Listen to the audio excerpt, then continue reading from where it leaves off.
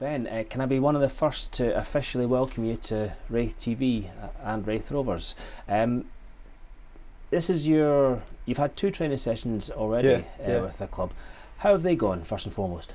Uh, it was class yesterday. I just getting in, meeting the boys, but I already know a few of them because I went to Broughton High School. Right. A year and that's then Quinn Coulson because I moved to Queen Anne, so it was good meeting up, meeting up with them all again. It was a good session as well, so Yeah. buzzing to get here. Yeah, and after two sessions, um, I mean, you know some of the guys, uh, and the rest of them that you've never met before. Um, a decent bunch to work with. Great bunch of lads, aye. You can tell that they like to have a laugh, but when you need to be serious, it's good. And got a good session today as well. Got a 11 aside game under my belt, so it was good to get involved. Yeah. Um, obviously, um, you're contracted to Rangers for another two seasons. Yeah. Um, but uh, but you're you're from Fife originally. Uh, just tell me a little bit about your background, where you went to school, and so on.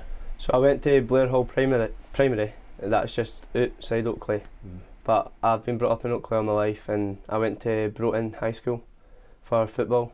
And then uh, it was too much travelling, getting to Edinburgh and then to Glasgow. I was, I, went, I was starting the day at like half six and getting in at like half ten at night. It was mad. So I went to Queen Anne, then played with the Queen Anne school team, got to Scottish Cup final, and I played Dylan Tait Ah, yeah. in the Scottish Cup final, but they beat us. So yeah. Mm, no said anything to them yet though. Right, okay. I, I'm told that in that run to the cup final, um, you were one of the one of the leading players in, in your team, um, but you couldn't quite get it over the line. Uh, did Dylan's team beat you soundly, or was it narrow? To be fair, because Queen Anne wasn't a football school, so and we played Braidhurst, and they were they were they were a strong team. Like you had boys from Motherwell all over, so kind of proud of the Queen Anne team for going that far. Because we only we had boys playing. It wasn't like professional level; it was boys club level, but they stuck at it, and it was honestly it was a good run. Like Yeah. enjoyed that. Good, good. And, and and about yourself, obviously, we know that you're a central midfielder. Yeah. Um, what are you going to bring to the Rovers squad and and the Rovers team on match days?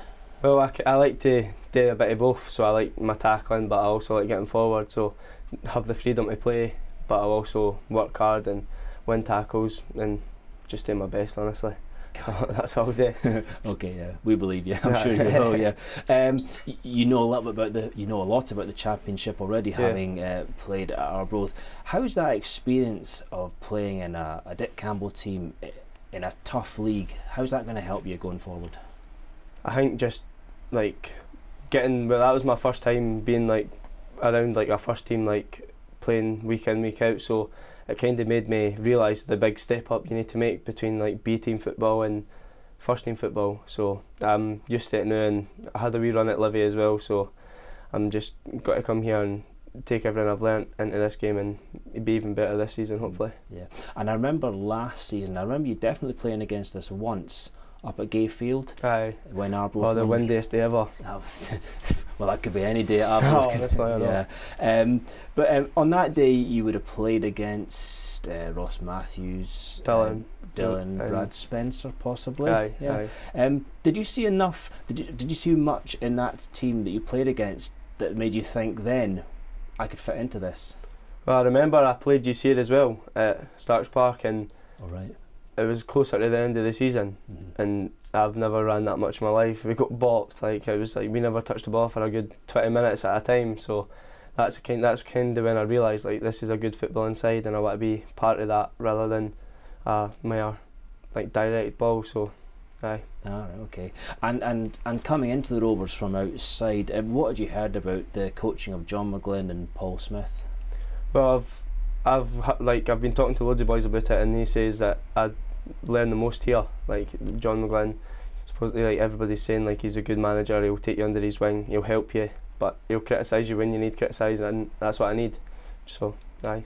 Got you right, yeah. And and back to yourself and your and your own game. Obviously, I looked at your record at Arbroath, and you played 18 games and you scored one goal. Is there any aspect of your game that you're looking to improve on here at Raith Rovers? Well, more goals and more assists. That's what I'm going to add to my game. So that's what I need to try and do. Like get up the pitch more and get more colour passes and scoring goals for outside the box. So that's what I need to add to my game.